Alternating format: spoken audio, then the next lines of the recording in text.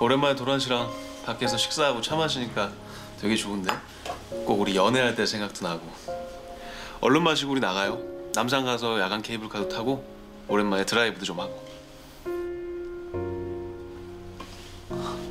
도란 씨, 나한테 뭐 할 말 있어요?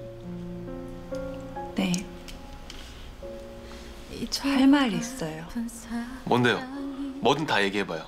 나 오늘 도란 씨가 원하는 거 내가 다 들어줄게요. 아, 하늘에 별 따달라 그런 소리만 빼고. 대륙 씨, 나랑 이혼해줘요. 뭐, 뭐 해달라고요? 지금 뭐라 그랬어요? 우리 이혼해요. 이렇게 눈물에 지쳐 또 잠들어